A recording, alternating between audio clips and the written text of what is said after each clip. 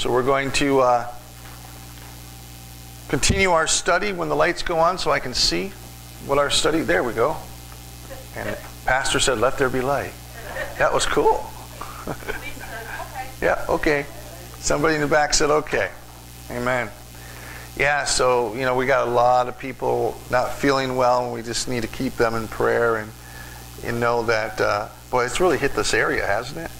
It's just like it's like decimated. I, I, I went to work the other day, and there was literally a skeleton crew. I, I couldn't believe how many people were just not there, and it was all because of sickness. And it's not just the adults, of course, it's children, and people have to stay home and things of that nature. So um, we just really need to be continuing to pray for each other and strengthen each other. So I'm going to read our, our text. Uh, uh, next week, I'm going to be doing an interview with a branch. And uh, you won't want to miss it because I'm bringing in a literal branch and I'm going to interview it. It's going to talk to us. So. Um, but we're doing uh, a new study called The Way to a Fruitful Life, Abiding in the Vine.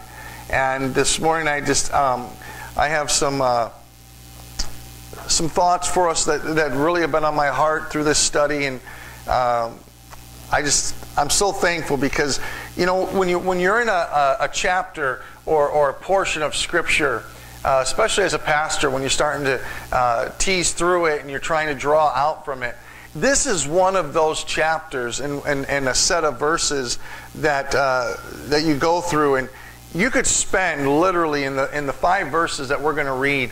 You, you, I believe I could, I could probably do this for a whole year just on the five verses, breaking them down.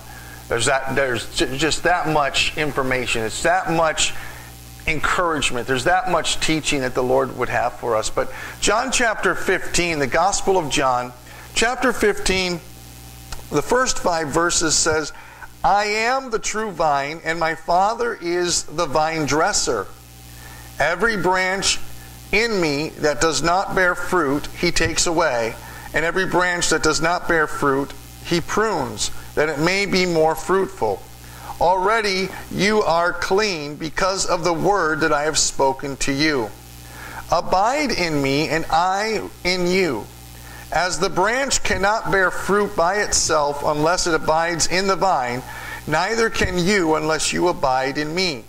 I am the vine, you are the branches. Whoever abides in me, and I in him, he it is that bears much fruit, for apart from me you can do nothing. Verse 6 says, If you if anyone does not abide in me, he is thrown away like a branch and withers, and the branches are gathered and thrown into the fire and burned. A lot of people don't like that last verse, and we won't major on it until the end today. But last week, as I said, um, you know, I'm going to give you a little bit background.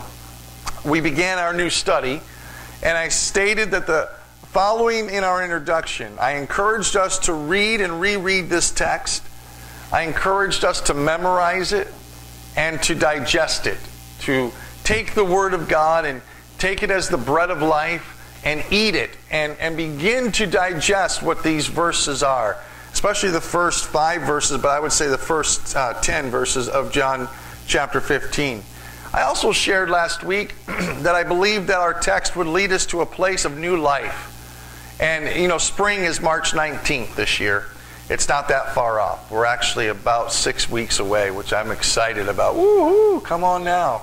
And spring to me is just, you know, it's it's it's my favorite because because of the resurrection. It's it's we call it Easter, I know, but that that season to me is I, I'd rather celebrate Easter than Christmas. If I had to choose one, it would definitely be hands down Easter. Hands down, it would be Easter weekend more than Christmas. It would just be hands down.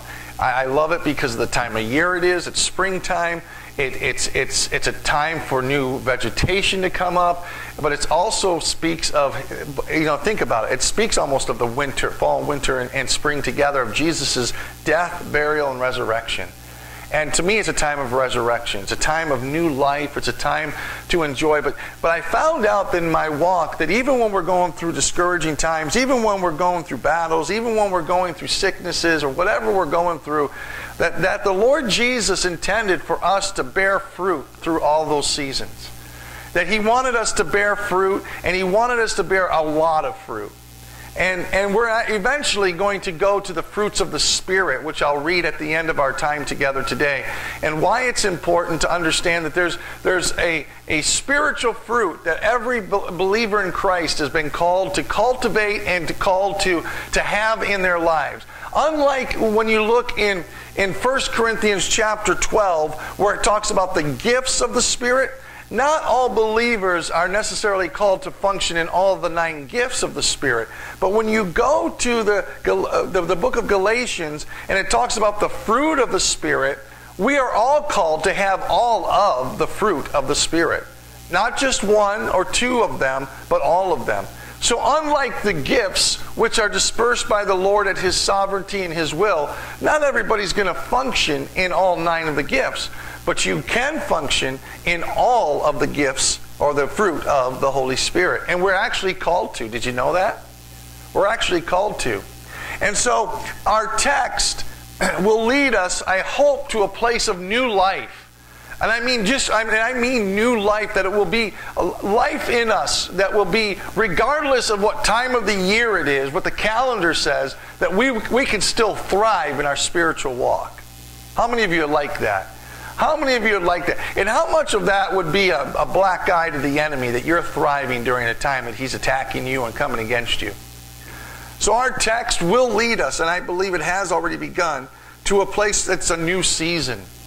Our text will show us how to produce more fruit. How many of you want more fruit in your life? Right? Not talking about Froot Loops, I'm talking about true fruit. Okay? I want more fruit. Our text will show us how to maintain, and this is important, maintain a fruitful life beyond, like I said, whatever time of the year it is. How to maintain it. And our text will teach us how to live fruitful lives in Christ. Our text will teach us how to be fruitful and multiply. Isn't that incredible that God's command to the first humans was be fruitful and multiply? So, from the very beginning of creation, it was God's desire for mankind, for you and I, to be fruitful and to multiply. And that, that, that's, that's what we're called to do as Christians. When Jesus restored as the last Adam the order of all things, one of the things that he's teaching here is that he wanted the original design that was created back in the garden to, to come to fruition in us here in the earth, and that is we would be fruitful and multiply. And then our text, lastly, will teach us how to live in a way that fruit will be plentiful in our lives, where fruit will be plentiful. I also shared with us something I thought was really, really important about this text. What does Jesus start off with? He says, I am the true vine, right? Well, this is the last of the I ams that Jesus uses in John's gospel. And this is what we call his farewell discourse or his farewell address. And I, I, think about this a lot uh, as I was thinking about. It. I said it kind of in, in passing last week, but it's really true. You know, and as a pastor, I've had many times that I've been in either hospice or hospital care where somebody is ebbing away and their their last days are upon them, and and especially those who are somewhat conscious and are still communicating during that time. What I have found is so um, profound, really, is that somebody's last words are are really important. And I have yet to be at a, a, an experience like that where somebody says to me, especially when I'm talking to them, to them alone and asking them if they, if there's anything that they would like to talk about or pray about, as they know and pretty much everybody in the room knows or everybody knows in their family that that there is, a, um, you know, the end days are coming for them. I ask them. I, I have yet to have somebody say to me, you know, Pastor, I wish I would have worked a little bit more. I wish I had worked that overtime shift that they offered me six years ago. Most of the time, what they say to me is, you know what, I, I, I wish I would have spent more time with my kids. I wish I would have spent more time praying. I wish I would have spent more time cultivating my relationships, the healthy ones, my relationship with God more. You know, I, I, I think of you know, uh, those type of things and, and, and cultivating. I think of Billy Graham, one of the things he said, uh, I think it was about two years before he passed away. Now, he was in his 90s, I believe, when he passed away. And now this is Billy Graham, and I'm thinking to myself, what an answer he gives here. They said, What would you do? What's the one thing that you would do different in your life? Now, this is Billy Graham. We're not talking about me. We're talking about Billy Graham here. He says, I wish I would have spent more time reading my Bible. Huh? Are you kidding me? What is he saying? He's saying that even at the end of his life, he realizes that there were times that he could, that he should have been maybe in the Word of God more. He just felt like I should have been more in the Word of God. That's Billy Graham. And I'm going, holy cow, I fall way short, right? Anybody else? But last words are important, aren't they? And maybe some of you are thinking about loved ones of yours that you were around and they gave you some last words of maybe encouragement or said some things to you that, that you hide in your heart because last words are important. The last conversations we have with people means something. And this is Jesus' farewell discourse or his farewell address. And, and, and, and I really believe from chapter 13 of John's Gospel up until he is actually taken before the Sanhedrin and before the council, that those chapters, chapters 13, 14, 15, 16, and of course his high priestly prayer, 17, but 13, 14, 15, and 16 of John's Gospel, to me, are some of the most important words that Jesus spoke because this was his last night that he spoke. It took three chap or four chapters, actually five when you look at 17, it took five chapters to capture what Jesus said on his last night. This is his last night. Chapter 15 is in the middle of him speaking to them chapter 13 and 14, and he's talking about the Holy Spirit in chapter 14 and about being comforted. And then he goes, Let's get up from here. Excuse me. And he says, I, I, and if you look at the end of chapter 14, it says, uh, it says this the last words were arise let us go from here. And what's he doing? He get, they're getting up from the from the uh, uh, table the last supper. They've done communion. And he begins to start walking to the garden of gethsemane via going through a vineyard. And so, Jesus, as he's talking to his disciples, he's beginning to give them even more instruction or give them more encouragement or give them more of his last and farewell address. He's teaching us something, and he's teaching, and he, and he, he wants them to know, but he also wants us to know something about the way of being a fruitful child of God. And last week was so important, I believe, in the life of this church. I said to my wife, I said it to leaders, I said it to people. I actually said it to other Christians that I was talking to this week when they said, Hey, how was your service? I said, You know what? To me, it was one of the most important messages I think I've ever preached in 13 years at this church. And they said, Really? Why? I said, Because it was a call to repentance. It was a call to get rid of those root areas in our hearts that would keep us from allowing the nutrients and the sap of the true vine Jesus to flow in our lives so that we would be the most fruitful. So that we could be fruitful Christians. That we would get rid of those things. And, and, and can I just camp out here for a minute? I'm asking a rhetorical question. I'm going to do it anyway. But we need to camp out here for a minute. We, we, we need to make sure that our, you know, I think it was 2000 and, uh, I think it was 2011. Uh, I'm pretty sure it was actually. Uh, I, I, had a heart episode, and it required that they went up and they had to blow something into my heart to see if I had you know, any clogs. And I remember the nurse saying to, to us that, uh, or the doctor saying, we're going to do this because we think you have blockage and, and we're going to take you to this hospital, we're going to do the test, and then we're going to keep the ambulance there, and then we're going to take you to another hospital, and we're going to probably have to put either a stent or do open heart surgery. I said, okay. So somebody, uh, uh, some great friends of ours who were leaders in Foursquare at the time here locally, came up and prayed. And as they prayed, they, they, they said, you know, I just felt like the Lord showed me that your whatever was in your heart was moved away. And I said, okay, that's cool. So the next day I go for this test, and this thing, I, won't get too graphic, but they went all the way up and got into my heart, and they blew this dye into my heart. And they said it was going to be super, super hot, and it, it just, whoosh, wow. And the doctor came back and said to my wife and I, she said, you know, we're not going to have to do surgery. She goes, because whatever whatever's there was just blown out, just gone. Just gone. And I think, thank God. Right? Because I, I didn't want to be cracked open. I had a couple weeks off of work, but other than that, that's not worth it. Right? Let's take a vacation. But I think about that in the spirit realm. What's in our hearts? You know, what's in your wallet? What's in your heart? And, and, and what might be blocking the flow of the nutrients from the true vine? The sap, which we're going to talk about in a little bit, the Holy Spirit is the sap. And what's in our hearts? Is it, is it pride? Is it arrogance? Is it, is it uh, um, hatred or unforgiveness or bitterness or resentments? Or what's in our hearts? Is it, is it something else that's been undetected and maybe others can't see, but inside you're rotting? I, have a good friend who pastors up in northern New York, what Suzanne and I do, and, and you know, he's been here, and, and one of the things, uh, I was talking to one of his members because they do a lot of, um, of tree cutting and logging up in that area. And I asked him, this, this one gentleman, this was many years ago, was, was a member of his church. I, I think he's still there, and he's an arborist, a true arborist. He's known for, um, he's a tree doctor, and he, he really knows how to take care and cultivate trees.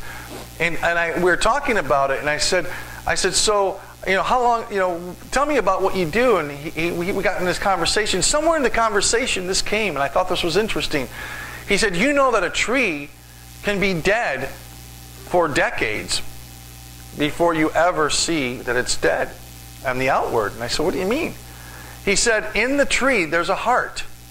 I never knew this.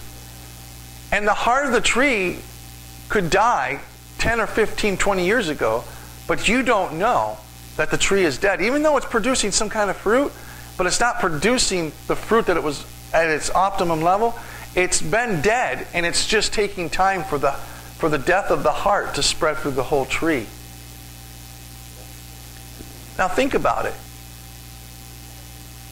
I don't want to be that tree. That heart issues are keeping me from being able to get through. And then 20 years or 10 years later, that bitterness or that unforgiveness or that, that hatred or that anger or the, the lust or the pride or the air, whatever it is has killed off the areas of my heart that I can't get, the vine can't get its sap in, it can't get its nutrients in. The Word of God can't be planted here because it just bounces off, like Jesus talked about the seeds. The heart is hard because of life, because things happen. And last week we spoke about that, and I, I, I, I came away and I've been meditating on last week. I almost preached it again. Because it's just like that procedure I had. I, I, I began to feel last week that we were clean, that there was some cleaning that went on here last week. And people talked about how they felt like they were reborn again. And, and, and that there was something in their hearts that changed. Whatever it is, I, I implore you, I, I, tell you as your pastor, as your brother in Christ, as a, as a friend in Christ, don't let anything be in your heart that would keep you from, from being able to receive because sometimes the sap doesn't come directly the way we think it does. It might come from brother to brother or sister to sister, and you might not be able to receive from them because your heart is clogged up with all this gunk. It's so important.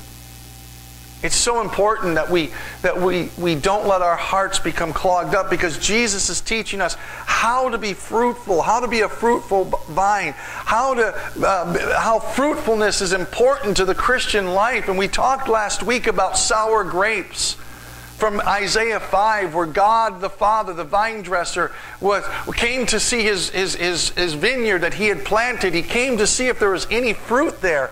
And when he came, what ended up happening? He, he found grapes there, didn't he? He found fruit, but it was sour grapes, it says. It was wild grapes, but the translation is sour. And the worst part of the translation is it was stinking grapes. You ever smell putrid fruit? It's just delightful, isn't it? And guess what you find with putrid fruit? You find all these little fruit fruit flies, which represent spirits of darkness in the scripture. The flies. And that's what happens. We have this putrid. And by the way, then we begin to smell putrid. We smell like the fruit that we're producing and no one wants to be around us. No one wants to be around us.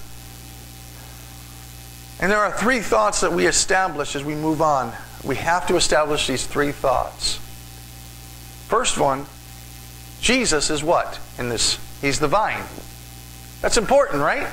To know who we're supposed to be engrafted in. Jesus. Thought number two, very basic stuff here I'm teaching. This is like 101. We are the branches. Right? I'm very serious. We're, we got to establish this because this is important stuff moving on. And next week, we're going to have a guest speaker, the branch. And when the branch comes, you need to hear from the branch next week. And, and by the way, unless you're sick or you just can't make it, you really need to be here. You need to really branch out and come. Karaching. Should have a rim shot machine, right? Ding.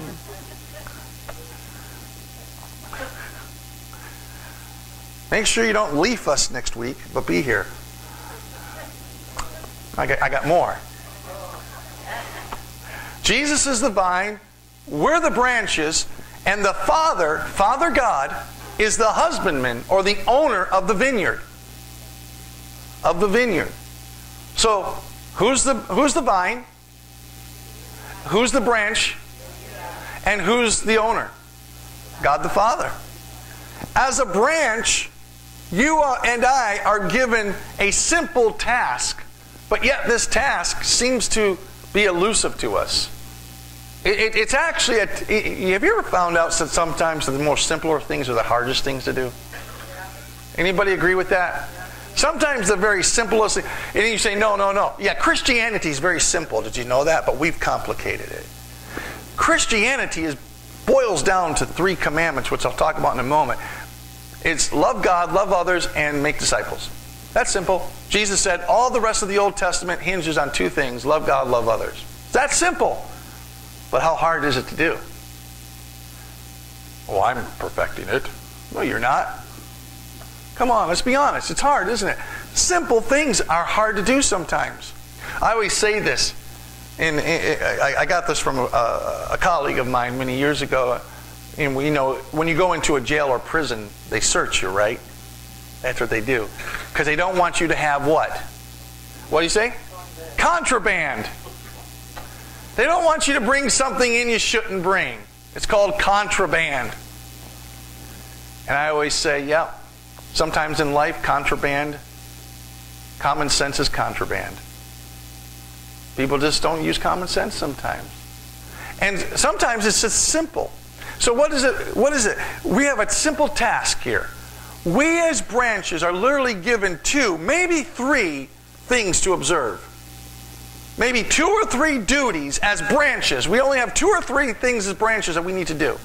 One is so simple, but yet it's so difficult. One is this. Get this. Abide in the vine. Abide in the vine. Be connected, stay connected, live connected to the vine. Second is that from the vine, we are to receive sap and nourishment from the vine. Because we're abiding, now we're going to receive nourishment and sap. And thirdly, as a result of the first two, because we're abiding and He's sending His nutrients and His sap to us, now we get to bear fruit. Three things. It almost sounds like loving God, loving people, and making disciples. Well, what does it mean to abide? Abide literally means hold to, stick to, conform to, obey, and comply with. That's what we're supposed to do when we're abiding in Jesus as the vine. It's so much more, though. What is the key, what is the key to living the blessed branch life that is possible? What is the key for us to abide in such a way that we, we, we bear much fruit? Because again, uh, can I tell you something, folks? You're a branch. Look at somebody and say, hey, you're a branch. Okay? You're a branch. You're a branch of the vine, Jesus. You are a branch. And my job is his job in me, but through me, the job that the Lord has given me to do through this series is to get us to a place where you get everything cleared away in your life that you possibly know of and that God shows you so that you can bear much fruit. Not just some fruit, much fruit. And by the way, what if we, we talked about the fig tree that Jesus cursed? Do you know why Jesus cursed the fig tree? There are several reasons, but I'm going to give you one practical one. One was very practical. He saw from afar off, like me, me looking at Tim back there in the sound booth, he saw from afar off what he thought was a fruitful fig tree. And he was hungry. Pretty simple. Jesus got hungry. And he says, Oh, a fig tree. I'm going to go have some figs with Newton. And so he goes over and he, Newton was one of his disciples, wasn't he? And so he goes to the fig tree, and because the fig tree has these big leaves, do, you, do you remember who covered themselves with figs? Do you know something about fig leaves? They shrink once you pick them. So they covered themselves and it began to shrink immediately. But in his eyes, Jesus sees this big fig tree, got big leaves. And what's, it, what's that speak of to you if you're looking at it? More fruit. There's some fruit there. There's some figs there. So he goes up to it and he lifts up, in a sense, the, the, the, the leaf to go grab a fig, and guess what? There's not. There's no, no fruit. Can I tell you, don't be a fig tree? Don't look like on the exterior like you got something going on that you don't. Because what did Jesus do to that fig tree? He cursed it. They walked away, and when they came back by it later, it was it was dead. It died. It died. To abide as a branch in Jesus means that we do one thing in abiding. It means that we come to a place of absolute dependence on the vine. Absolute dependence. We must recognize that the branch, you, me, we have nothing in our own self. We don't give anything back to the vine. Did you know that? You don't feed the vine, the vine feeds you. You don't produce fruit on your own. It's only from you and the vine being together and you understanding as a branch, you are 100%, not 99, not 98, not 97, not 96 or 95, not even 94 or 93, not even 92 or 91 or 90. Do you want me to go all the way to zero? Okay. But you get it? Not even 89 or 88, not even 87 or 86. No, you are 100%, not 85 or 84. You are 100, not 83 or 82 or 81 or 80. You are 100% dependent on the vine. Because that is what he's saying here. He's telling them that if you're going to bear as much fruit as possible, and as I want you to, to, to have, and as the Father wants you to have, you're going to have to be 100% dependent on me. Abiding is total dependence on the vine. In this case, it is total dependence on Jesus. When we understand this need for our branch life to live, it's an absolute dependence we will become more fruitful. You see, what it means is we stop trying to do it ourselves.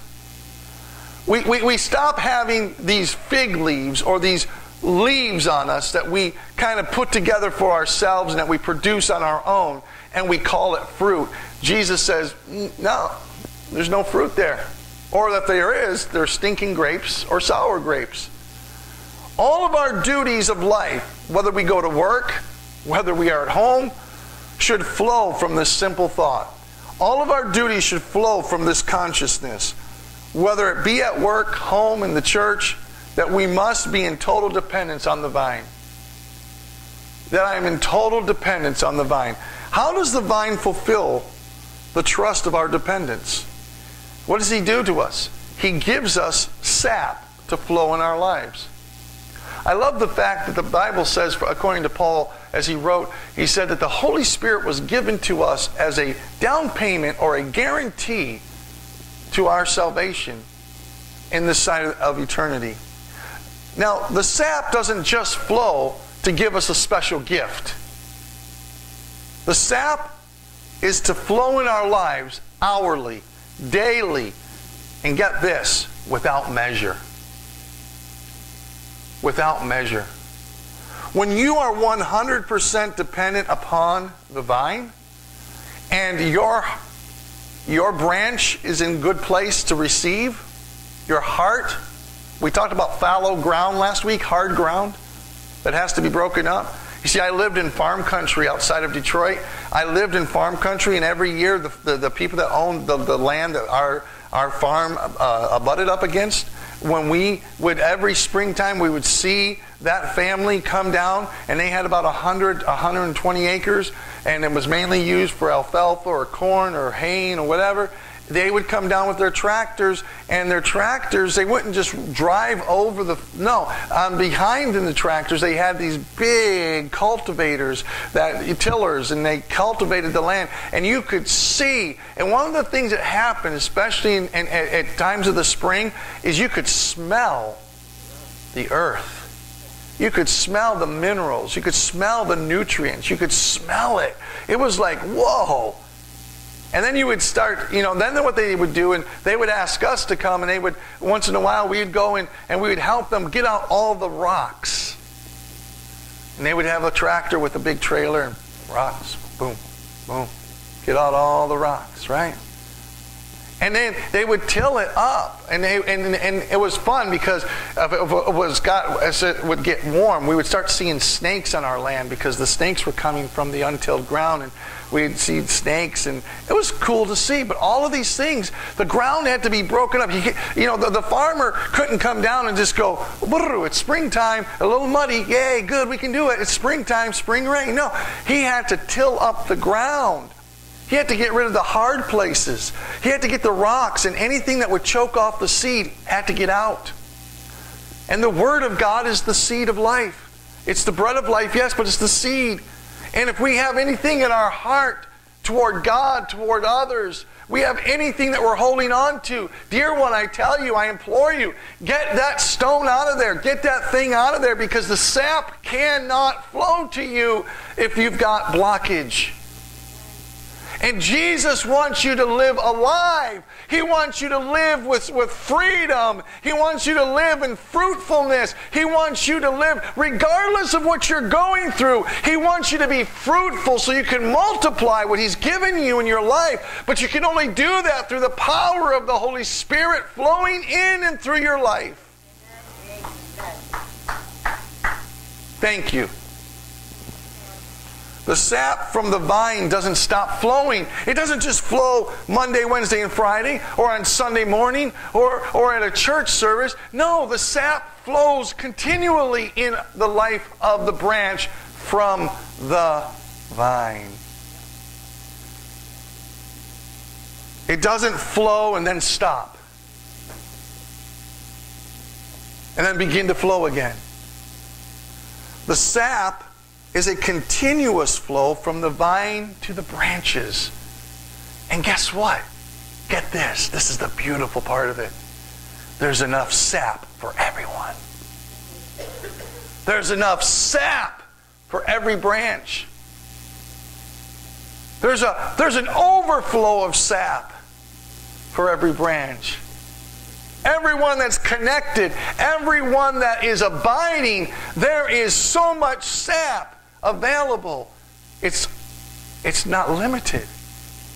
This absolute dependence on the vine is the key to living the absolute most fruitful Christian life. People say, "No, I think it's, you know, going out and evangelizing. I think it's going out and preaching. I think it's going out and doing this. I think it's winning souls. I think it's that." That's a fruitful life. Those are the results of a fruitful life. That's not what makes you fruitful. What makes you fruitful is your abiding in the vine and your absolute dependence on Him. We must understand that as branches, we have nothing unless it flows from the vine. Our life source is based on the vine flowing into the branches. And we must decide to be the type of branches, if we're going to be fruitful, that are dependent 100% on the vine for everything in our lives. There are two types of branches, by the way. And, and, and they're the two types that Jesus mentions in our text. There's only two types of branches the ones that are connected to the vine that are unfruitful, or say that they're a part of the vine uh, that are unfruitful, and the ones that are pruned. And the vine dresser does two things to ensure maximum fruit productions in our lives. First of all, this is the most painful one to hear. He will remove the dead or fruitful areas of our lives. He will remove the dead or unfruitful areas of our lives. He will remove the things that produce death because he can't produce life until he does. Anything that does not bear fruit from the vine, what Jesus said, is removed from the vine. This is going to be a tough word for some of us to hear this morning. In our text, the indication is that there are those who claim to be Christ, but are not. Just like not everybody who goes to church is a Christian, any more than going to McDonald's makes you a French fry. Just because people sit in church doesn't mean that they're Christian. And, and, and, and, and using the Christian tag, which used to be more popular than it is today, was something thrown around that we just thought, oh, because you, you know, you go to church, you must be a Christian. That's not true. Matter of fact, unfortunately, there are people who don't go to church who are more Christian than people who go to church. They call themselves by the term Christian, but they're unfruitful branches. And guess what? They're removed from among the healthy and true branches. Why? Because not all who say to Jesus are genuine believers. You say, What? Turn in your Bible to John chapter 6. These are people in John chapter 6 who followed Jesus, were fed by Jesus. Get this, you got to hear this, please. They were fed by Jesus. Jesus ministered to them. They walked with Jesus. Get this. They turn to somebody and say, Hey, these people walked with Jesus. And look at verse 66. After this, after some teaching that Jesus gave, many of his disciples turned back and no longer walked with him.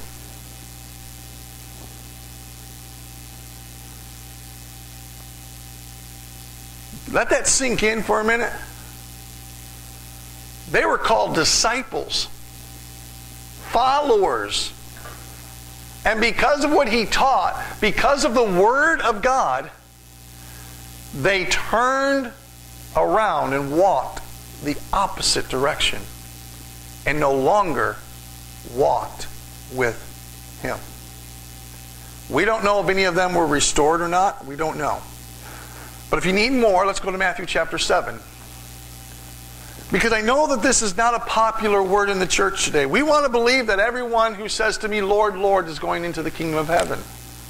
We want to believe that everyone who sits in our churches, we want to believe that everyone who goes to our church meetings is going to heaven. And let me tell you, it is, you know, I, I am thankful.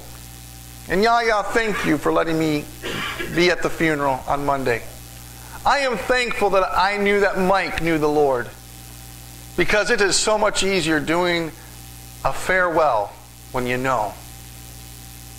But just because somebody comes to church, this church, that church, up there church, anywhere church, just because they sit there Sunday after Sunday, they may not know the Lord. Did you know that? You say, that's not possible, Pastor.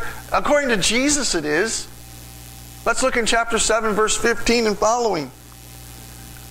Beware of false prophets. So there's going to even be leaders in the church who come to you in sheep's clothing, but inwardly are ravenous wolves. You will recognize them by their what? By their by by what? By their clothes? By their jet? By their ministry? by their fruit. And keep reading now. Are grapes gathered from thorn bushes or figs from thistles? So every healthy tree bears good fruit. But the, dis- the, but the diseased trees bear bad fruit. A healthy tree cannot bear bad fruit, nor can a diseased tree bear good fruit. Every tree that does not bear good fruit is what? And then what? Thrown into the fire. Thus you will recognize them by their fruits. And guess what? He doesn't stop there. And there's more. Let's keep reading. Not everyone who says to me, Lord, Lord, will enter the kingdom of heaven, but the one who does the what? The will of my Father who is in heaven. On that day, many will say to me, Lord, Lord. So they're calling Jesus Lord. Get this, this is important. These are people who recognize that Jesus is what? Did we not prophesy in your name and cast out demons in your name and do mighty works in your name? And then I will declare to them, Jesus says, this is Jesus speaking. I never knew you. Depart from me, you workers of lawlessness. Them are some pretty serious scriptures. And guess what? They're found in the New Testament. And it's the Lord Jesus who spoke them. Fruitfulness, abiding, is very important to our Lord. It's very important. Some want us to believe that Jesus didn't mean what he said. Did you know that? I'm serious. There are people who want to fit in to the text what's not there. I want to tell you, I've said this a hundred more times than a hundred since I've been here in this church and I've taught here. And when you're reading the scripture, you are never called to read into it. You are called to draw out of it. You read into it, that's you. You draw out, that's him. You draw out from the well. People don't want, they don't want, they don't believe what Jesus said was what he said. When he said, If anyone does not abide in me, he is thrown away like a branch that withers. And the branches that are thrown away are gathered and thrown into the fire and burned. End quote. Jesus' words. Not mine. Do I want that to happen? No. Do I want that to happen to people that are sitting in this ministry? No. Do I want that to happen to anyone that I know? No. It's hard to hear, isn't it? We can't just pick out the good stuff that we want to hear. We got to hear it all. It's difficult for our hearts to wrap around these words because we, we've heard people in the world say, well, if God is so loving and so kind, why would He send anyone to hell? It's a great question, isn't it? I think it is. But He has to if they don't know Him. Some would say that the term that Jesus used in the Greek, which is airo, which is Greek for lifts up, is a grace word. And it could be, meaning that a unfruitful vine, or an unfruitful branch, I'm sorry, not a vine, would be lifted up from the ground to become more fruitful. And that is true. If it's been on the ground and it's soiled and dirty, the Lord Jesus will definitely lift up that leaf and clean it off and reestablish it. He'll do that. I want to balance this, okay? He'll do that. However, Jesus said, not Pastor Eric, not well meaning people, Jesus stated that the unfruitful branches are thrown into the fire. However, pruning is a grace word. That suggests grace in the life of a true branch. And can I tell you something? That pruning more than likely will involve pain. One of my favorite things to do in a few months is I get to go out to my raspberry bush. And I, every year, cut away and I prune. And there are usually a handful of dead branches that I have to take out. And can I tell you something? I can't fit them back in. As much as I would like to, and I even talk to them. I know I'm weird. I'm like, I'm sorry, but I have to throw you in the wheelbarrow now. Because you're not going to be any, you're not going to do anything but choke off the good fruit if I leave you here. And I and I, I, I rake around it to get all the stuff out. Any anything that debris wise that's there, even if it's natural debris from the winter, and I get it all out and I make sure and last year I had so many raspberries I didn't know what to do with them. I'm serious. And, it, and it, when you look at the raspberry bush from, if you had seen it at the beginning of the year and then saw what I did to it, and, and you'd been like, wow, Pastor, you, you buzz cutted that thing. And yet it gave us a beautiful harvest in July. And I had to remove what needed to be removed.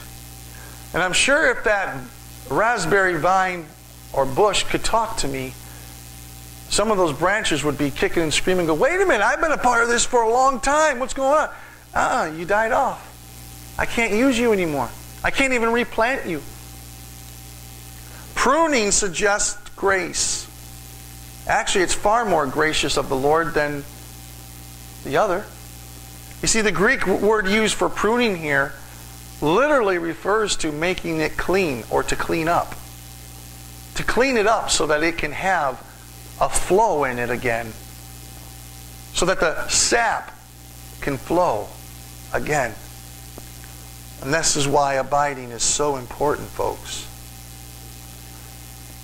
So the question this morning is very simple. Because I don't want, I'm not going to spend a lot of time on this. I'm not going to close with this thought. I'm going to close with a more happier thought. But the fire here, and if you read commentaries that are been accepted for centuries, the fire here represents the final judgment. Unless you don't believe me, you can also look in, in at the latter part of Matthew's gospel where Jesus says one day, on judgment day, I'm going to take the sheep and the goats, and I'm going to separate them.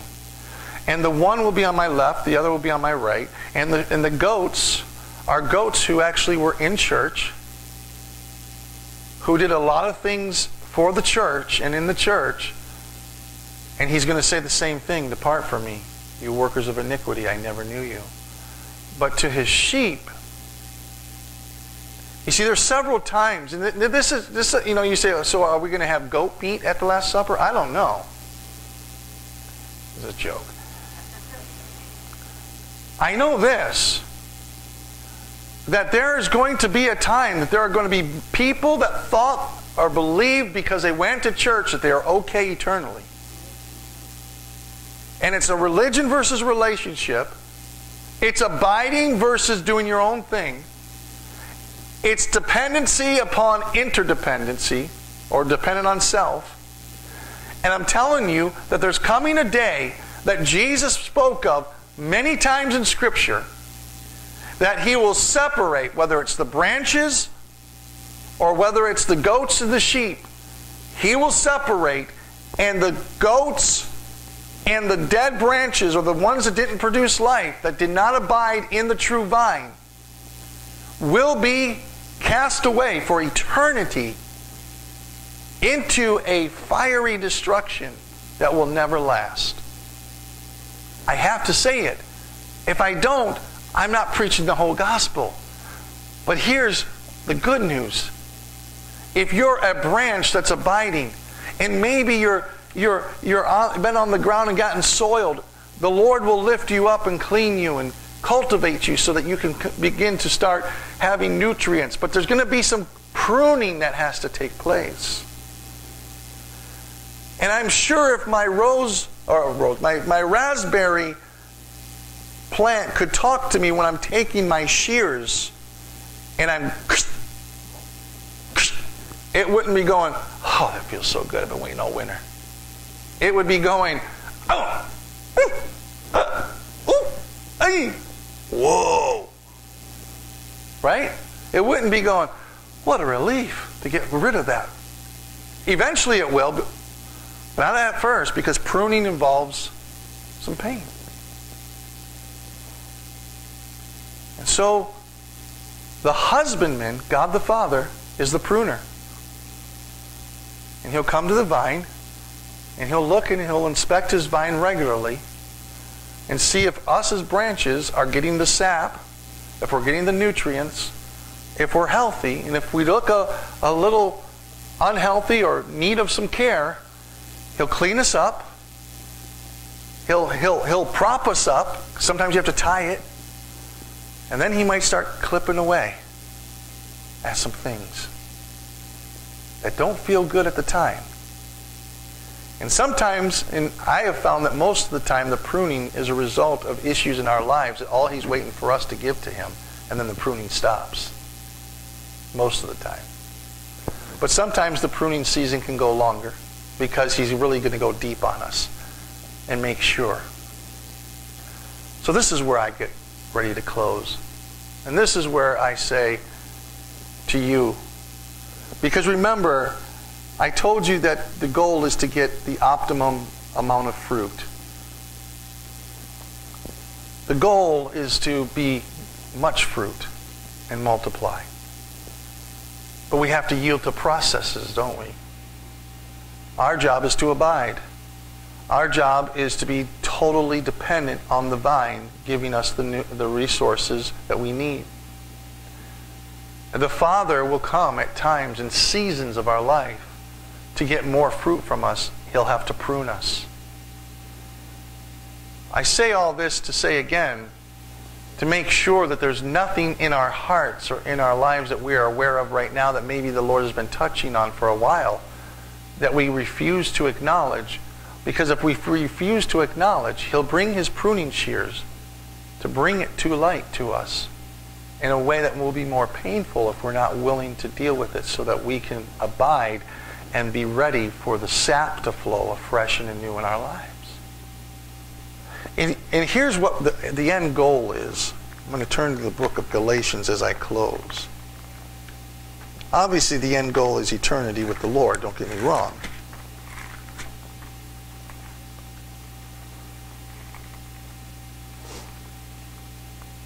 But the end goal is this type of fruit. Let me, let me read you the, the fruit of the, of the flesh sexual immorality, impurity, sensuality, idolatry, sorcery, enmity, strife, jealousy, fits of anger, rivalries, dissensions, divisions, envy, drunkenness, orgies, and all these things. That's not what we want to be, right? But here is the fruit of the Spirit. This is the fruit that we're going after love, joy, peace, patience, kindness, goodness, faithfulness, gentleness, self control. That's the fruit. Chapter 5 of Galatians, verse 22. That's what I want in my life. That's what I want for all of us, is to be as fruitful and bear as much good fruit in our lives as is possible. That's my hope for us as a church. That's what our hope is for you individually, for your families. That there would be nothing in us. And if there is, that we would recognize it and say, Lord, here it is. Remove this rock in my heart, in my soil, so that the sap can flow through again. Remove this issue in my life so that you can flow in me freely like I know you have in the past. Because if anything blocks the sap, it's not the vine or the sap, it's the branch not being able to receive it because of something standing in the way in itself. Let's not be those type of branches. Let's be a branch that gives ourselves over to the vine, that allows him to flow in and through us, that allows him to do his cultivating work in us so that we can be fruit bearers. Amen? So, Father, I have given what you've given to me. I have given what you are doing in me. And I ask you today, and we ask you collectively, search our hearts and search our branches, Lord. Lord, if there's anything that's keeping you from flowing in us, through us, because you not only want the sap to flow in us to be fruitful, but you want us to produce fruit for others. And you want us to be a part of a vineyard where our branch, along with other branches, come together and produce maximum fruit for you. And that we flow with sap to other branches around us, offshoots of the vine, at times when they're struggling. So today, Father, let us not leave here discouraged, but let us leave here today knowing that you're calling us to be fruitful and to bear much fruit. And that we're willing for you and even asking you for the pruning shears of heaven to cut away, for the tilling of the ground of our heart to remove the stony places because Jesus gave us a parable of the seed sower who went out to sow seed. Some fell on hard ground and in cracks, and some fell on, on good soil. But the ones that fell on the hard ground and the cracks, they may have produced a, a quick amount of fruit, but as soon as the cares of life and the trials of this age came upon them, they were scorched out or they were they, they didn't have any root. But the good seed takes root. And the heart is the soil that you talked about, Jesus. Help us to be mindful of the cultivating work that you want to do in us so that we will bear as much fruit as you have wanting us to bear. We ask in Jesus' name. Amen.